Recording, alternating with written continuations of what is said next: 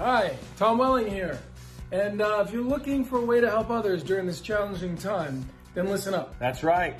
We are back together. And excited to be teaming up with Omaze to support the incredible work of the Ronald McDonald House, Los Angeles. You can enter to win at Omaze slash reunion.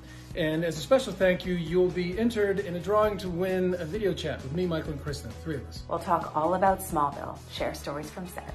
It'll be an amazing time. Who knows? Maybe we'll uh, share some stories that haven't been told. Yeah, like uh, for example, does anyone remember the episode where Clark robbed a bank? Funny thing is, I actually, in order to prepare for the role, I robbed a bank, so we can talk about that. Wow, I was just going to talk about that one time I slept in late and was late to set, but you know, maybe we should all stop talking now. So don't miss out. Go to omaze.com slash reunion and donate whatever you can to support the incredible work of our friends at Ronald McDonald House.